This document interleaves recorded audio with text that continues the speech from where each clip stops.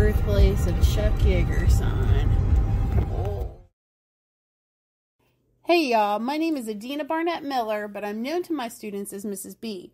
I've been passionate about West Virginia history for as long as I can remember, but my mom would tell you it all started when I was three years old and she bought me a West Virginia counties puzzle at Gino's Pizza. I've taught history in Ripley, West Virginia for over 20 years now, and I'm an adjunct professor who teaches college West Virginia history to high school students. Please join me for West Virginia History with Mrs. B, a field trip across the mountain state to walk in the footsteps of those who came before us.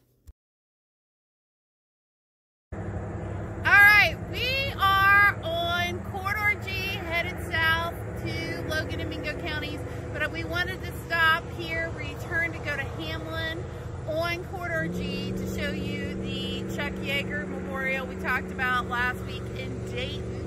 And so as you can see, there's a nice picture of Chuck Yeager at the top of this memorial. And you can see it says it's dedicated to all those who served our country, both in war and peace, to keep our country free. And we owe you a debt of gratitude. So it gives a little biography about Chuck Yeager, uh, which we'll talk about here shortly. Let's talk a little bit about Chuck Yeager based on the biography given by the Lincoln County Commission. He a home son of Lincoln County. He was born in 1923 in Myra, West Virginia, and in 1941 September 12th, so even before the attack on Pearl Harbor, he enlisted in the Army Air Corps because remember, the Air Force is not going to be a separate branch until Korea. He was selected for pilot training um, under the Flying Sergeant program. He received his pilot wings and was appointed as a flight officer in 1943 at Luke Field in Arizona.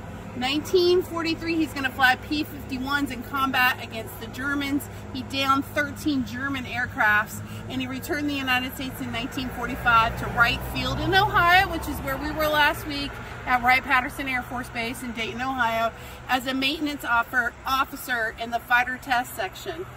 In January 1946, Yeager attended the test pilot school at Wright Field.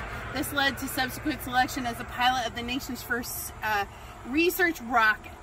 And so he was sent to Muroc Air Force Base in California to be the project officer, of course, for the Bell XS-1. And so he will pilot that. And on October the 14th, 1947, he broke the sound barrier. He became the first, the world's first supersonic pilot. And during the next four years, he flew the X-1 more than 30 times. He exceeded 950 miles per hour and was above 60,000 feet above the ground. He was the first American to make a ground takeoff in a rocket-powered aircraft. And in 1953, he flew the LX-1 at 1,650 miles per hour. And he became the first man to fly at nearly two and a one half times of the speed of sound. And so he has flown over 200 types of aircraft, has had more than 13,000 hours in fighter aircraft, and in 19, on October 14, 1997, after landing his F-15, and after 55 years and one month in the Air Force cockpit, he retired as a consulting test pilot for the Air Force Flight Test at Edwards Air Force Base. And in May 1985, he was awarded the Presidential Medal of Freedom by Ronald Reagan. And so the citizens of Lincoln County are super proud of their native son, uh, Chuck Yeager. And so this is the sign and the monument that they put here on Corridor G as you're headed southward to pay honor to Brigadier General Chuck Yeager.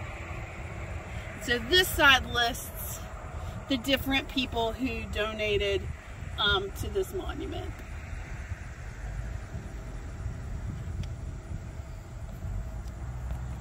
So he is a hometown boy done good. Thanks, y'all, for watching. Please like, share, and subscribe to West Virginia History with Mrs. B on both Facebook and YouTube.